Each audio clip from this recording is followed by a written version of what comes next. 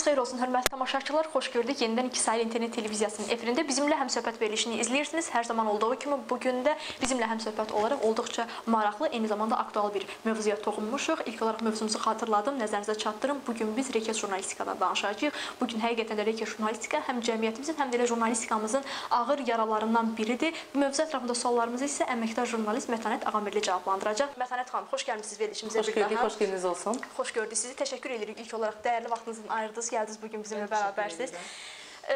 Mətən xanım, dedim ki, jurnalistikanın yarası. Məncə bu fikri deyərkən yanılmadım. Bilmirəm mənimlə nə dərəcədə razı olacaqsınız, yoxsa olmayacaqsınız. Ümumiyyətlə necə düşünürsünüz? Üz qarası. Üz qarası. Bəlkə də daha kobud və şəhsər şəkildə desək belə də demək olar həqiqətən də. Ümumiyyətlə bax bu işlə məşğul olanların fəaliyyətləri, yaradıcılıqları jurnalistikanın etik prinsiplərinə nə dərəcədə uyğundur? Mən e, qısaca keçmişə bir çox e, ani bir ekskursiya etmək Buyurun. istəyirəm ki, e, bilirsiniz ki, Azərbaycan müstəqilliyini qazandıqdakı ilk illərdə ümumi lider Heydər Əliyev hakimiyyətə gəldikdən, xalqın israrı tələbi ilə hakimiyyətə gəldikdən sonra öndə duran bir çox prioritet məsələlər var idi ki, Azərbaycanın ə, parçalanmaqdan qorumaq, Azərbaycanı dünyaya çıxarmaq və ondan sonra ən önəmli məsələlərdən biri də azad sözün demokratiyanın bərqərar olması idi və ilk addımı da o vaxt elə ə, cənab prezident Heydər Əliyev, ümumi liderimiz atdı.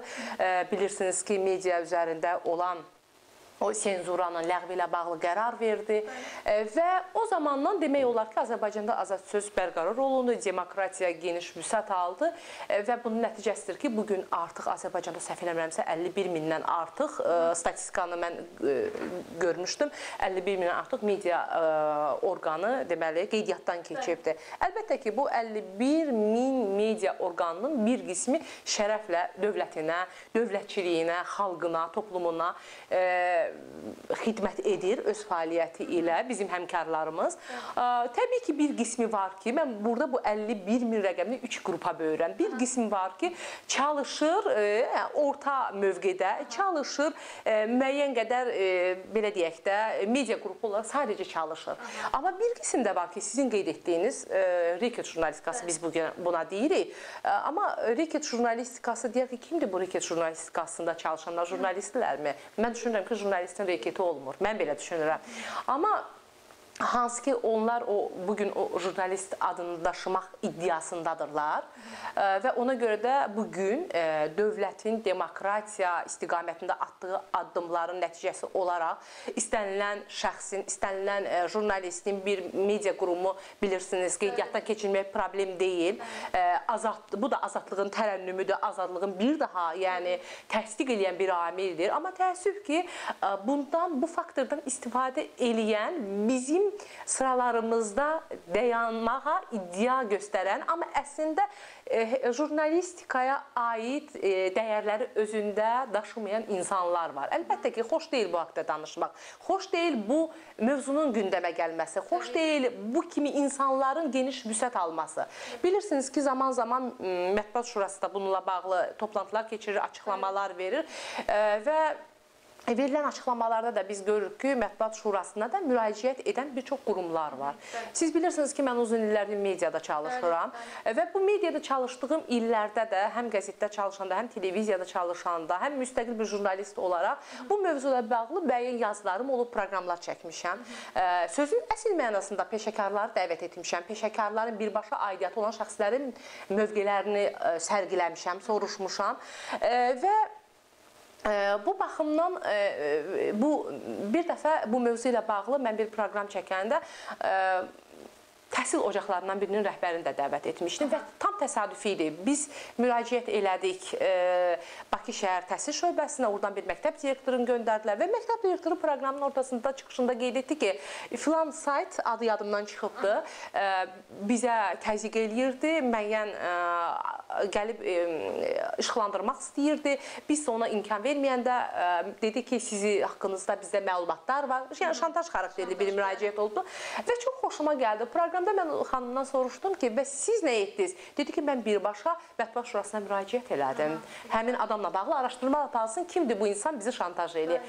Və mən düşünürəm ki, əslində bizim cəmiyyət kiçik cəmiyyətdə hamımız bir-birimizi tanıyırıq, axtaranda, soruşanda və bizim insanlar sanki haqqının, ə, hüququnun müdafiəsində aidiyyatı orqana müraciət etməyə biraz çəkinir. Nədən? Çünki ətrafda bizdə bir qəribə bir düşüncə tərzi var ki, ə, çox üzr istəyirəm ifadəyə görə, ə, mərdimazar. Tutaq ki, kimsə müraciət elədi, kimin haqqında bir səhv qərar verildisə, bu insanı mərdimazar adlandırırlar.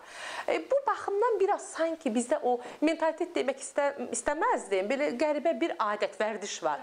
Amma baxın bu gün eyni müraciətdə olan şəxslər, məktəb direktorları var, bağça direktorları var və yaxud da universitetdə işləyən müəllimlər var. Cəmiyyətin müxtəlif sferalarında. Baxın, çox təsadüf bir hadisə baş verib. Siz bu gün məni bu mövzu ilə bağlı efirə çağırmısınız. 2 gün öncə Mən axşam saatlarında evdə olarkən mənə gələn bir zəng var. Aha. İctimaiyyətdə tanınan bir e, biznes ledi və çox ciddi tibb universitetinin müəlliməsidir. Aha. Öz sferasında fəaliyyət göstərir. Qeyri-hökumət təşkilatı var. Mənə zəng edir ki, Mətan xan, mənə zəng eləyiblər. Ə, nə press az, ə, əvvəli yadımdan çıxıb və ə, bunu qoyub o birisinə keçirəm. Bir xalq info ə, sayt var. Hı -hı çox ciddi fəaliyyət göstərən bir qurumdur, media qurumudur, internet saytıdır. Və onun ətrafında, o ad ətrafında manipulyasiya eləyən, ona oxşar adları qeydiyyatdan keçirən saytlar var. Məsələn, Xəbər Xalq Info, Xalq Xəbər Info. Görün, görürsünüzmü? Yəni insanın, bəli, insanın çaşacağı tərzdə, yəni. E, Və e, ona görə də bax bu saytları olduğu kimi yadda saxlamaq mümkün deyil. Bax bizim tanıdığımız o tibb universitetinin a, müəlliməsi, tibb elmləri üzrə fəlsəfə doktoru, çox səviyyəli, öz yerini bilən, gözəl bizim bir ziyalı xanımımız mənə zəng eləyir ki, mənə belə bir saytdan zəng gəlib, deyirlər ki, sizin haqqınızda bizə bir nə isə məlumat daxil olubdu. Ya, mən burdan açıq deyəcəm. Ya, bizə bu qədər summada pul verməlisiniz ya da ki, axşam saat 9-da materialı biz sayta qoyacağıq. Təsəvvür edirsiniz bu nə deməkdir? Yəni nə qədər mən utandım. Mən o yoldaşların yerinə utandım. Həmin o bizə jurnalist kimi baxan insanların yanında ki, məndən o həmkar kimdir soruşur. Və mən onu izah elədim durumu. Bəli ki, mən tanımıram, saytlar çoxdur. Mövcud durumu izah elədim. Üstündən 2 saat keçdikdən sonra həmin xanım təkrar mənə zəng edir ki, ə, filan qurumda çalışan bir ailəvi dostumuza zəng etdim. O da ona zəng edibdi. O sonra zəng edib üzr istəyibdi ki, filankəs xanım, bəs mən üzr istəyirəm. Biz gəlib sizinlə görüşəcəyik. Heç bir problem yoxdur. Heç bir yazı zad olmayacaq. Bax bu nədir? Və siz də jurnalistsiniz. Mən də bu sualı sizə verirəm. Bax bu nədir? Yəni buna üz qarası deməkdən başqa variantımız varmı Yoxdur, bizim? Yoxdur, təəssüflər olsun ki, yoxdur.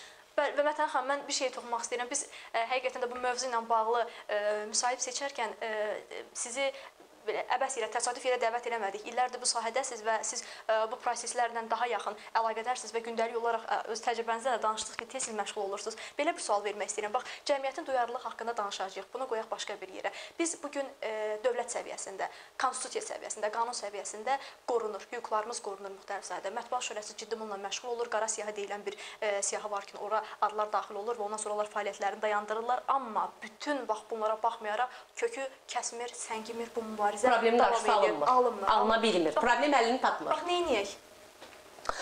Mən təqribən bir 4 il öncə eyni mövzu ilə bağlı bir konfrans var idi. Bizim tanıdığımız, çox hörmət etdiyimiz yoldaşların hamısının toplaşdığı və mən də Lider televiziyasından ora dəvət almışdım. İştirak edirdim. Bakı Dövlət Universitetinin jurnalistika, müvəffəq fakültələri müəllimələri də var idi orada. Orada müxtəlif çıxışlar oldu.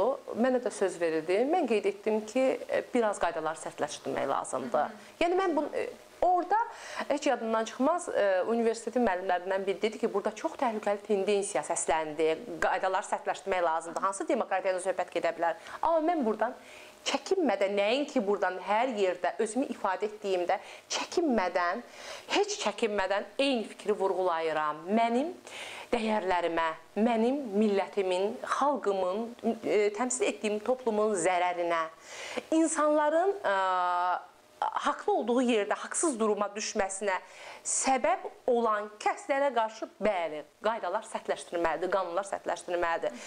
Əlbəttə ki, bu sadəcə bir təklif ola bilər. Biz e, müstəqil fikir söyləyirik sadəcə. Siz qeyd etdiniz, Ədliyyə Nazirliyindən bu gün heç bir ə, şəxs ə, müraciət edib cavabsız qalmaya bilməz. Yəni istənilən şəxs istənilən adda ə, deməli, bəli, müraciətinə cavab alır və qeydiyyatdan keçməyə nail olurlar.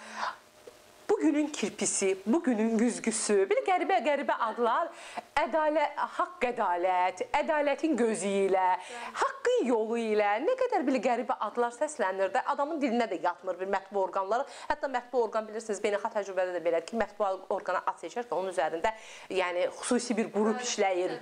Zamanla onu əldə edirlər ki, yəni nə qədər səslənəndə xoş olsun, yadda qalsın, hafizədə qalsın. Amma buna da fikir vermirlər bu şəxslər. Bəli, Bəli, mən onu qeyd edəcəydim. Əslində bu bir daha qeyri-peşəkarlığın göstəricisidir. Tələn-tələsik bir ad seçib onu qeydiyyatdan keçirmək, bölgələrə səfərə çıxmaq, nə bilim, müxtəlif təhsil ocaqlarına, e, qurumlara müraciət eləmək, oradan öz məqsədləri üçün istifadə etmək və Mən bir yaralı məqamı toxunacağam e, və çox qəribədir ki, ən çox müraciət eləyən şəxslər bu jurnalistikanın yaratmaz adamları ilə bağlı, reyting jurnalistika nümayəndələri bağlı ən, ən çox müraciət eləyən insanlar sanki təhsil sahəsində təmsil olunanlardır. Baxaq görək təhsil sahəsində təmsil olunan kimlərdir? Bizi böyüdən. Bu gün biz onların qarşısında deyilik ki, müəllimlərimizin qarşısında baş əyirik. Bu gün e, biz siz mən təəccüb edirəm hətta bu insanların dünya görüşünə belə. Orta məktəbdə biz yetişirik. Həmin o özünə jurnalist deyən insanlar o müəllimlərin e, belə deyək də qarşısında yetişibdi. Və nə qədər doğrudur ki, bir universitetin rektoruna zəng edib onu ə, şantaj etmək. Nə qədər doğrudur ki, müəllimə zəng edib onu şantaj etmək. Bu yəni heç cürə məntiqlə araya sığmır. Bu bir. İkincisi digər tərəfdən e, e, jurnalistika bu gün müstəqil Azərbaycanın e, yaşına uyğun formada bizim azad jurnalistikamız formalaşıbdır. Bu gün biz bəlkə onlarla fəxrlə adını qeyd edəcəyimiz jurnalistlər var ki, dünyasını dəyişənlər də var. Biz onların ruhu qarşısına baş əyirik. Bu gün bizimlə bərabər çiyin-çiyinə davam edənlər var ki, Yəni onların o, formalaşdırdığı, o ardıca apardığı bu tendensiyaya xələl gətirən, bu adımıza ləkə gətirən, o, biz niyə buna yol verməliyik ki? Bax mən sual verirəm, elementar bir, sadə bir sual. Niyə biz yol vermək? Demək ki, hər kəs səsini çıxarmalıdır. Demək ki, bax sizin bu etdiyiniz ə, dəstək, bu proqramlar vüsət almalıdır və bu insanlar öz yerini bilməlidir. Xırda bir şeyi xatırladım. Seçim tok-şousu, Lidia televiziyasına yayımlanan seçim tok-şousunun birində Dikir jurnalistikası ilə mübarizə ilə bağlı adı altında bir proqram biz hazırladıq. Aha. Çox hörmətli Mətbuat Şurasının sədri Əflat Namaşovu da dəvət etdik və o da gəldi. Orada çıxış edəndə bir fikir səsləndirdi. Dedi ki, sanki indi saytlar qoçu alətinə çevrilibdi müəyyən şəxslərin əlində. Bunu Mətbuat Şurasının sədri ifadə etdi. Biz e, bəli, əsaslandırdı. Bir zamanlar insanlar ətrafında qoçular saxlayırdılar, hansısa təsir mexanizmi kimi. İndi təəssüf ki, bəzi hallarda həmin o təsir mexanizmi kimi insanlar qoçular saxlayır yanında. Mən deyirəm ki, o qoçulara bizim aramızda yol yoxdur. Bəli. Yol yoxdur, bəli. Və necə almaq olar? Necə almaq olar? Qaydalar sərtləşdirilməlidir. Jurnalistika fakültəsi fəaliyyət göstərir. Jurnalistika fakültəsindən Mənə elə gəlir ki, hətta buna aid xüsusi bir e, maarifləndirmə olmalıdır. Bilirsiniz, bir çox hallarda biz həmin reket jurnalistlərinin kimlər olduğuna diqqət edəndə məhkəmə proseslərində ən azından bilirik bunlar kimdir. E, mən etiraz edirəm. Orta məktəbi bitirən heç bir təhsili olmayan gəlir deyir ki, mən jurnalistəm. Tutaq ki, rabitə kollecini bitirib gəlib deyir ki, mən jurnalistəm. E, və yaxud da ki, e, işdən qovulan hardansa, gəlir başqa variantı yoxdur. Bir sayt qeydiyyatdan keçirir, deyir ki, mən jurnalistəm. O zaman biz kimik mən sual edirəm. Və nəyə görə o insanlar bizim sıramızda təmsil olunaraq bizim əməyimizi, bizim zəhmətimizi, adımızı kölgə altında qoymalıdırlar? Bəli. Aynıdır. Və Məsələn xanım, olduqca maraqlı məqamlara toxundunuz. O həmin şəxslərin kimliyi barədə belə bir məqam da var. Düşünürəm ki, normal düşüncəsi, əxlaqı, ən azından içində Azərbaycanlı qanı və sevgisi olan insanlar normalda öz ə, e, həmkarına, vətəndaşına qarşı o hörmətsizliyi eləməz. Gəlin baxaq, bəlkə bunların arxasında Azərbaycanı istəməyən hansısa xarici qüvvələr, ki. təşkilatlar dayanır. E, o hallarda var əlbəttə ki, amma bu gün e, yəni yenə deyirəm, məhkəmə proseslərindən izlədiyimiz, gördüyümüz o Drake jurnalistikasının nümayəndələri ki var, görürük ki, onların hamısı siz deyən kimi deyil. Bəli, o hallarda var. Biz kimliyinə asılı olmayaraq heç zaman heç bir an unutmamalıyıq ki, Azərbaycan vətəndaşları bizim pis və yaxşı əməllərimiz hamısı dövlətə, millətin maraqlarına pis və yaxşı mənada yansıyır. Bu baxımdan heç bir Azərbaycan vətəndaşının ə, bunu unutmağa haqqı yoxdur. Çünki vətəndaş məsuliyyət deyilən bir anlam var. O anlayışa nəhayət biz hamımız riayət etməliyik. Və ə, təəssüf edici haldır ki, müəyyən qüvvələrin ə, təsiri ilə Azərbaycanda Rikert jurnalistikasında ayaq açan insanlar və əlbəttə ki, yəni ə, çox təəssüf edici haldır. Ə, və əlbəttə ki, bu insanların hansısa maraqlar naminə dövlətin və millətin mənafeyinə zidd gedən adamlara qarşı da mən elə gəlir ki, ictimai qınaq formalaşmalıdır. Mən hər zaman deyirəm, indi də deyirəm, az öncə soruşdunuz ki, bu e, problemin kökünü necə kəsmək olar? E, bəli, qaydalar sərtləşməyi ilə bərabər bir ictimai qınaq formalaşmalıdır. Bax, sizin kimi gənc jurnalistlər, bizim həmkarlarımız özünü jurnalistikada gerçək jurnalist sayan, e, az da olsa əməyi olan əməyi olan şəxs sayan insan laqeyd olmamalıdır.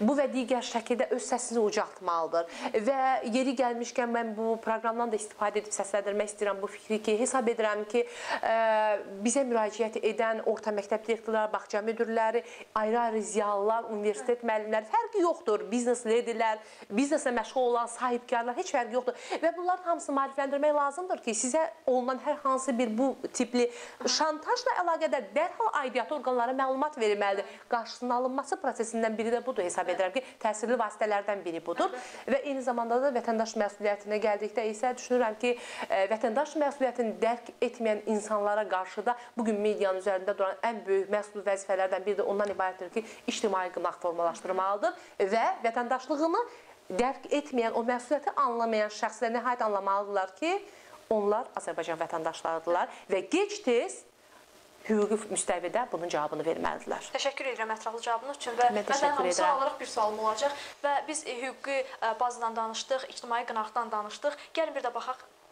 düşünürəm faiz etibarilə ən çox hissə toplayan insanlara cəmaatımıza, sadə xalqa. Bu günləri əvvəlcə məsəl üçün bəlkə bu reket jurnalistlər, bəlkə qəzetlər vasitəsilə daha çox hədə-qorxu gəlirdilərsə, bu gün zamanın tələbinə uyğun olaraq informasiya saytları, agentliklər və yaxud da ki, sosial şəbəkələr vasitəsilə və zaman-zaman biz ora yazılan şərtlərdən belə e, görürük ki, əslində onlar e, bir dönəm qarşılarına qoyduqları məqsədə çata bilirlər. Hardasa sıradan Azərbaycan vətəndaşları onları bəli, bəli, onlara dəstək ifadə göstərirlər. Bax, cəmaatımızı necə e, maarifləndirək ki, onlar bilsinlər hansı xəbərə inanar, hansı xəbərə inanmayaq, kimlərə etimad eləyək, kimlərə eləməyək. Axı bunun üçün də bir e, necə deyim, bir yol olmalıdır. İnsanlar qarşısına gələn hər hansı bir üzdə olan simanın, tutaq ki, şəxsi həyatı haqqında heç olmayan şeylərə inanıb e, onların belə deyək, qurun oduna yaş dayanır məsələsi var. Getməsinlər o. Doğru, haqlısınız. Bilirsiniz necədir? Bu gün biz elə bir dövrdə yaşayırıq ki, biz burada danışdıq az sonra, hətta indi də bu dəqiqə bunu internetdə paylaşmaq mümkündür. Bəli, yəni bəli. informasiyanın çox geniş, informasiya əsrində yaşayırıq. İnformasiyanın çox geniş vüsət aldığı bir dövrdə ə, və informasiyalar o qədər çoxdur ki, o qədər boldur ki, zaman-zaman siz dediyiniz mövzu ilə bağlı mən də araşdırma eləmişəm, proqramlar çəkmişəm, proqramlar etmişəm. Ə, bilirsiniz, yəni hər zaman e, bizim proqramlarda mən uzun illər o müsahibə aldığım dövrlərə e, əsaslanaraq deyirəm ki, müsahiblərin hər zaman eyni fikirdə e, üst-üstə düşdüyünün şahidi olmuşam. Bütün müsahiblərimiz mən ziyalıları nəzərdə tuturam. Əlbəttə ki, bilavasitə aidiyyatı sahədə çalışan ekspertlər nəzərdə tuturam. Hər zaman eyni fikri e, səsləndirirlər ki, bütün problemlərin qarşısının alınmasında ən mühüm məsuliyyət kütləvi informasiya vasitələrinin üzərinə düşür. Əlbəttə ki, müsahiblərimizə çox böyük hörmət edərək onların fikrini dəstəkləmək məcburiyyətindəyəm. Çünki bu bir həqiqətdir. Bəli. Kütləvi informasiya vasitələri 4-cü hakimiyyət adından göründüyü kimi və e, cəmiyyətin fikrini formalaşdıran e, kütləvi informasiya vasitələridir. Amma kütləvi informasiya vasitələri də formalaşdırdığı üçün kütləvi informasiya vasitələri sıralarında vicdanla çalışan, özünə jurnalistəm deyən insanlar bunun məsuliyyətini dərk edərək biraz öncə qeyd etdiyim kimi reket jurnalistikasında özünü göstərən şəxslərə qarşı qarşı amansız olmalıdırlar. Və e, insanlar necə ayırsınlar informasiyanı? Baxın, sosial şəbəkələr var. Dəfələrlə biz bu məsələləri müzakirə edirik öz həmkarlarımızla da bir araya gələndə. Bu gün sosial şəbəkələrdə təəssüf ki, neqativ informasiyalar, yalan, çığırıcı, bağırıcı informasiyalara meyillik çoxdur. Biz bunu görürük. Bunu kim formalaşdırılıb, formalaşdırıbdı? Bu ıı, hansı ki informasiya əslinin bizə verdiyi ə, o tendensiya qurlaşanda, çoxalanda. Yəni son illərdə ə, sanki acılıq olan o kütləyə qəfildən saysız hesabsız informasiya təqdim olunur və zamanla o informasiya acılığında olan insanlar o e, kütlə, böyük çoxluq o çı, e, belə deyək də səs-küyün, bağırmağın arxasıca gedir. Amma inandırım sizi mən bədbin deyiləm bu fikrimdə. Zamanla düşünürəm ki, bu həllini tapacaq. Necə tapacaq? Bax sizin kimi, bizim kimi, yəni təvazökarlıqdan uzaq da olsa, ciddi jurnalistika ilə məşğul olan kəslər ki var, mən əminəm ki, ə, əhalinin, insanların maariflənməsində rol oynayaraq onların da informasiya tələbinə uyğun olaraq e, onları o yalan, şər böhtan dolu, e, belə deyək də, e, çaşdırıcı, çığırıcı informasiyalar deyil, ciddi, lakanik, dürüst, lazımlı informasiyanın ardıcı aparacaq. O tələbatı əhalidə formalaşdıracaq. Mən buna əminəm. İnşallah. Təşəkkür edirəm Mətanət xanım, çox sağ olun. Biz bu gün qarşımıza bir məqsəd qoyduq və istədik ki, bu problemi həqiqətən də cəmiyyət üçün daha sadə və anlaşılıqlı dillə izah eləyək. Qoy bir növ maarifləndirilməsində çalışdıq ki, cəmiyyətin iştirak eləyək. Sizin vasitənizlə arzulayıram olduq. və biz nə dərəcədə nail olduq, əlbəttə ki, söz tamaşaçıların olacaq, seyircilərimizin olacaq. Mən sizə təşəkkür edirəm seçiminiz üçün. Çox sağ olun. Ümid eləyək ki, qarşımıza qoyduğumuz məqsədə nail olacağıq və lazım adamlar özlərinə lazım dərsləri götürəcəklər. haqq nazirləri üzülmür. Əlbəttə ki, həqiqət e, gec-tez öz yerini tapacaq. İnşallah. Minnətdarıq. Belə hörmətli tamaşaçılar, siz iki saylı internet televiziyasının efirində bizimlə həmsöhbət verilişini izlədiniz. Sonda bir daha nəzərinizə çatdırım ki, bu suallarımızı əməkdar jurnalist Mətanət xanım Ağamirli cavablandırdı. Bir daha təşəkkür edirik. Hörmətli tamaşaçılar, bizimlə həmsöhbət verilişinin növbəti buraxılışında yenidən görüşmək ümidi ilə diqqətiniz üçün təşəkkür edirik. Salamat qalın.